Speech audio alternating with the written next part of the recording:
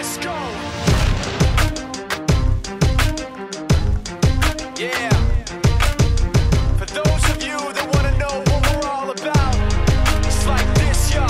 This is 10% luck, 20% skill, 15% concentrated power of will, 5% pleasure, 50% pain, and 100% reason to remember the name. He doesn't need his name up in lights, he just wants to be heard, whether it's the beat of the mic.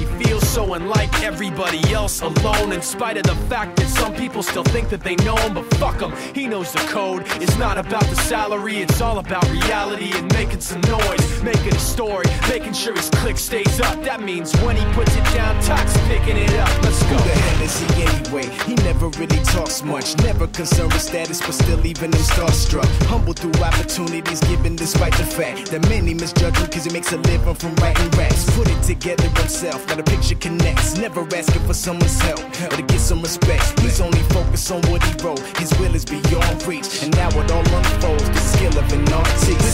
20% skill, 80% beer, be 100% clear, cause Ryu was ill. Who would've thought he'd be the one that set the West in flames? And I heard him wreck it with the crystal method, name of the game. Came back, dropped Megadeth, took him to church. I like Bleach, man. Ryu had the stupidest verse, this dude is the truth. Now everybody giving them guest spots and stocks through the roof. I heard he fucking with that This is 10% luck, 20% skill, 15% concentrated